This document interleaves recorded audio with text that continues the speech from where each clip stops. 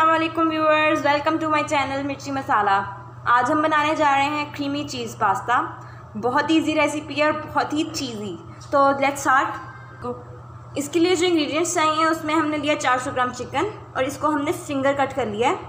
इसमें हम डालेंगे वन टेबल स्पून दही. अब हम इसमें डालेंगे वन टीस्पून जिंजर और गार्लिक पाउडर अब हम ये हम इसलिए डाल रहे हैं क्योंकि हम चिकन को मैरिनेट कर रहे हैं। इसमें डालेंगे हम हाफ़ टी स्पून सॉल्ट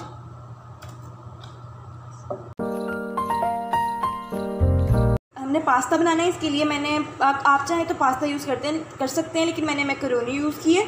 तो हमने मैक्रोनी का पैक यूज़ किया बेक पाउडर का। तो इसके फो फोर हंड्रेड ग्राम है ये। तो आप जितना चाहें जितनी क्वांटिटी आप बनाना चाहते हैं आप उतनी बनाएँ। आप एल्बो चाहे मैक्रोनी यूज़ कर सकते हैं आप पास्ता यूज़ कर सकते हैं आप जो चाहें यूज़ कर सकते हैं। मुझे मैक एल्बो मैक्रोनी मिली मैंने ये यूज़ कर ली। हमने अब बनाना है मैक्रोनी को बॉईल करना है तो इसलिए हमने पानी रख लिया बॉईल होने के लिए। इसमें हम डालेंगे दो टेबल स्पून ऑयल गो। इसमें ऐड करेंगे हम half teaspoon salt macaroni के लिए वन बॉयल का इंतज़ार करना था। इसको वन बॉयल आ गया तो हम इसमें मैक्रोनी ऐड कर देंगे। मैक्रोनी बिल्कुल तैयार हो चुकी थी, अब हमने इसको छान लेना है। हमने इसे अच्छे से पकाना नहीं है फुल नरम नहीं करना है, इसे थोड़ा थोड़ा कच्चा रखना है, ताकि ये बाद में ज़्यादा पाउडर पाउडर ना हो जाए या जुड़ ना जाए आपस में। अब हम इस पर ठंडा पानी डालेंगे। अब हम इस पर ठंडा पानी डालेंगे ताकि ये जुड़ ना जाए। और इसका पकने का जो प्रोसेस है, वो भी ख़त्म हो जाए। हमने मैरिनेट किया था, उसको हम फ्राई करेंगे। तो इसके लिए हमने पैन में दो टेबल स्पून ऑयल डाल लिया है। इसमें चिकन ऐड करेंगे।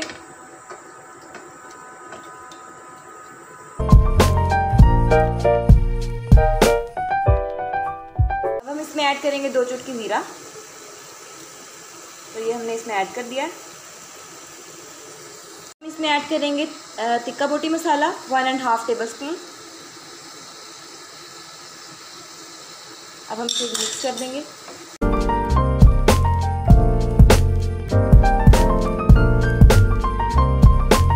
तैयार हो चुका है। तो अब हम चलते हैं अपने नेक्स्ट स्टेप की तरफ़। है सॉस बनाने का। जैसा कि हम बना रहे हैं वाइट सॉस पास्ता तो इसमें हम डालेंगे टू टेबल स्पून बटर इसको हम कर लेंगे मेल्ट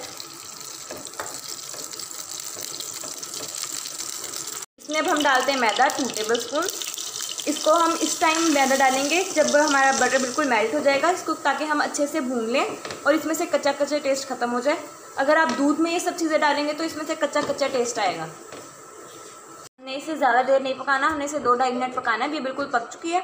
तो अब हम इसमें मिल्क ऐड करेंगे। मिल्क हमने लिया है हाफ़ लीटर इसे एकदम ऐड नहीं करना। इस ताकि इसमें लम्स ना बने बनने पाए।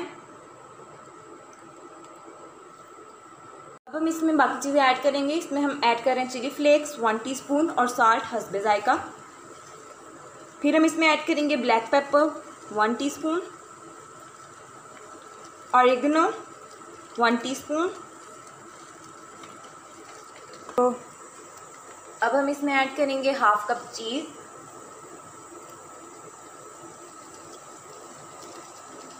तो हमने इसमें ऐड कर दी। मेल्ट होने तक पकाना था। लेयर्स लगानी, पहले हमने अपनी सॉस की लेयर लगा दी है।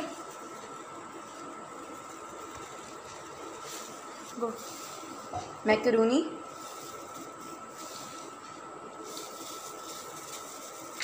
गो अब हम इसमें चिकन ऐड कर देंगे।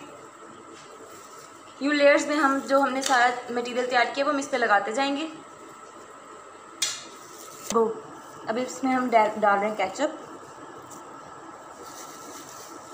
और फिर हम इसमें ऐड करेंगे थोड़ा सा सोया सॉस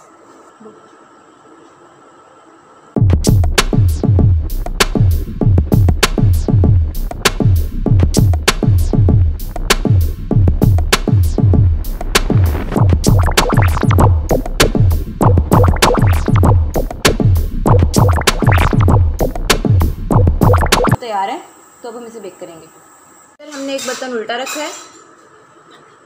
बाद हमने पास्ता को बेक होने के लिए रख दिया है। अब हम इसको कुकर को ऊपर से कवर कर देंगे और इसे बिल्कुल नॉर्मल आँच पे 10 से 15 मिनट के लिए बेक करेंगे। उसके बाद हमारा पास्ता बिल्कुल रेडी हो जाएगा और फिर हम इसे खा सकेंगे।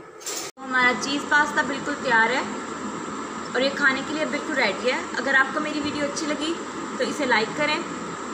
मेरे चैनल को सब्सक्राइब करें और बेल आइकन को प्रेस करना मत भूलिएगा और कमेंट करके बताएँ कि हमारा ये चीज़ क्रीमी पास्ता आपको कैसा लगा।